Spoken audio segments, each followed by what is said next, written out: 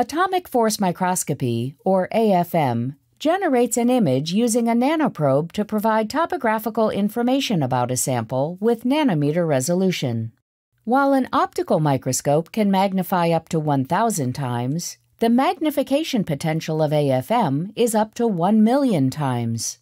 AFM can